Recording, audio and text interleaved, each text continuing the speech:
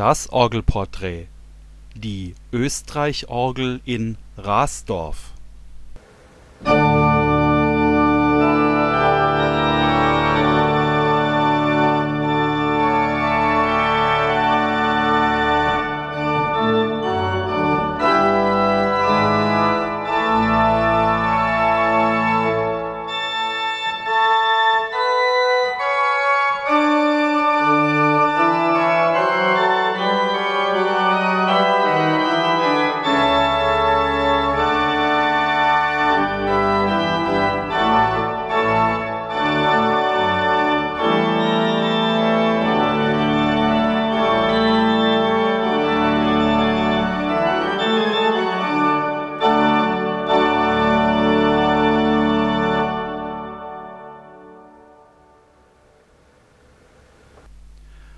Rasdorf ist eine Gemeinde im Landkreis Fulda in Osthessen. Seit 2015 trägt sie die offizielle Bezeichnung Point-Alpha-Gemeinde, denn während der Zeit der deutschen Teilung befand sich in der Nähe des Ortes ein wichtiger Beobachtungsposten der US-Armee. Der Ort liegt in einem weiten, offenen Gelände inmitten der Kuppenrhön, unmittelbar an der hessisch-thüringischen Landesgrenze im Biosphärenreservat Rhön der Sachsenmissionierung zur Zeit der Karolinger verdanken das Kloster Fulda und das Nebenkloster Rasdorf seine Existenz. Der Ort Rasdorf muss bereits vor 781 bestanden haben. Ein Kloster als Nebenkloster von Fulda wird 815 erwähnt.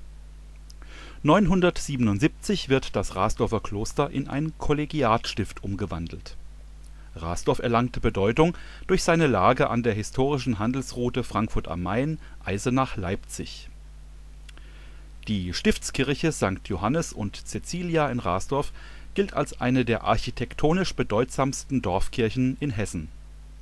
Sie entstand in ihrer heutigen Form ab 1274 unter Beibehaltung des Grundrisses und unter Verwendung alter romanischer Bauteile als nunmehr gotische Kirche die Hauptattraktionen in der Kirche sind die Säulen, die das Hauptschiff und die zwei Seitenschiffe trennen, sowie zwei gedrungene Säulen mit Tierkapitellen, die vermutlich noch vom Gründungsbau des 9. Jahrhunderts stammen. Der romanische Taufstein ist der älteste des gesamten Fuldaer Landes. Für Orgelinteressierte kommt hinzu, dass sich in Rasdorf die älteste erhaltene Orgel der Orgelbauerfamilie Oestreich befindet Sie wurde 1767 von Jost Oestreich und seinem Sohn Johann Marcus Oestreich für die Stadtpfarrkirche in Fulda erbaut. Seit 1837 steht das Instrument in Rasdorf. Wir werden auf die Geschichte gleich noch näher eingehen. Von 1801 bis 1837 amtierte an dieser Orgel, als sie noch in der Fuldaer Stadtpfarrkirche stand, der Fuldaer Stadt und Domkantor Michael Henckel sein Vorspiel D-Dur hat das Orgelporträt eröffnet und in vier weiteren kleinen Orgelstücken Henkels sollen nun einige der zahlreichen Klangfarben seiner Orgel, die heute in Rasdorf steht, erklingen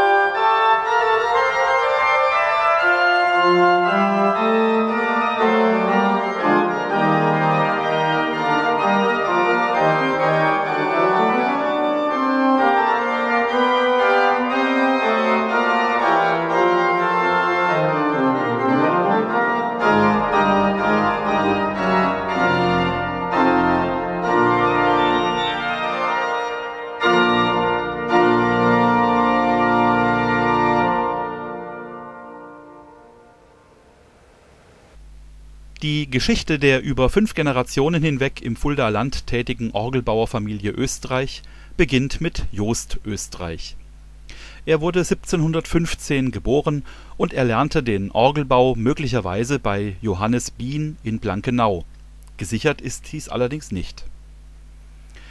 Er errichtete seine Werkstatt in Oberbimbach bei Fulda und taucht erstmals 1745 bei einer Orgelreparatur in Großen Tafft auf 1754 bis 1755 erbaute er sodann eine Orgel für die Stadtkirche in Lauterbach und er arbeitete in den Folgejahren an verschiedenen Orgeln im Fuldaer Land.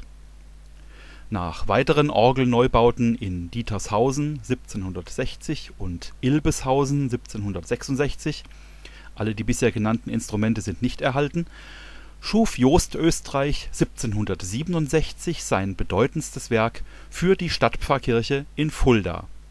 Sie bekam 19 Register auf zwei Manualen und Pedal und kostete 500 Gulden nebst der alten Orgel. Bei diesem Orgelbau arbeitete erstmals auch Johann Marcus Oestreich, der 1737 geborene Sohn von Jost Oestreich mit er wird in der zweiten Generation die Orgelbauerfamilie aus Oberbimbach zu ihrer größten Blüte führen. 1770, nur drei Jahre nach dem Orgelneubau, begann man mit der spätbarocken Vergrößerung der Stadtpfarrkirche, die sich bis 1786 hinzog. Die fast neuwertige Orgel kam in der erweiterten Kirche sodann wieder zur Aufstellung, war jedoch für den deutlich größeren Kirchenraum nun zu klein 1801 übernahm Michael Henckel das Organistenamt an dieser Orgel und bemühte sich in der Folgezeit immer wieder um einen Orgelneubau. Doch erst Mitte der 1830er Jahre hatten seine unablässigen Bemühungen Erfolg und nach einer ausgedehnten Orgelreise ins Sächsische erhielt Georg Franz Razmann aus Ohrdruf den Auftrag für einen Orgelneubau nach Henckels Plänen in der Stadtpfarrkirche, der 1837 vollendet wurde die alte Österreich-Orgel wurde für 800 Gulden nach Rasdorf verkauft und von Razmann leicht verändert aufgestellt. In den folgenden Jahrzehnten blieb die Orgel weitgehend unangetastet. Erst kurz nach dem Zweiten Weltkrieg, 1950, erfolgte eine, wie es hieß, Erneuerung der technischen Anlage durch den Fuldaer Orgelbauer Alban Späth. Bei diesem Umbau wurde zum einen die Disposition leicht im damaligen Sinne barockisiert, leider aber auch fast die gesamte Traktur komplett neu hergestellt und auch ein neuer Spielschrank eingebaut. Nach einer ersten Restaurierung in den 1980er Jahren durch Klaus Gabriel aus Petersberg erfolgte 2005 eine Sicherung und Dokumentation des historischen Pfeifenbestandes durch die Firma Hoffmann aus Ostheim vor der Rhön Dabei stellte sich heraus, dass im Hauptwerk rund 75 Prozent und im Oberwerk immerhin noch 40 Prozent der Pfeifen von Österreich stammen, während sich im Pedal keine originalen Pfeifen mehr befinden. Hören wir den vokalen, italienisch anmutenden Klang des Hauptwerks in einem Ricercar von Giovanni Pierluigi da Palestrina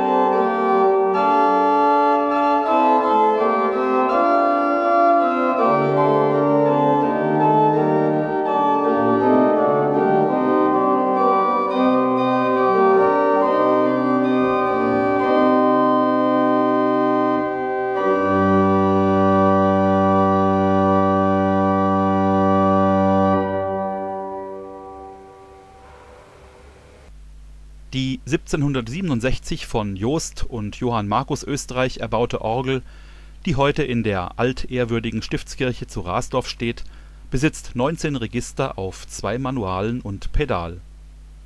Der ungewöhnliche Tonumfang vom Ton C bis zum zweigestrichenen h in den beiden Manualwerken geht darauf zurück, dass man den ursprünglich fehlenden Ton cis später einfach durch Nachrücken des Pfeifenwerks ergänzte.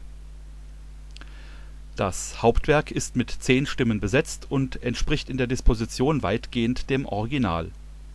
Wir finden hier Prinzipal, Quintertön, Gamba und Flöte 8 Fuß, die Oktaven 4 und 2 Fuß nebst den Quinten 2zwei und 1 Fuß, bekrönt von einer fünffachen terzhaltigen Mixtur und einer zweifachen Zimbel.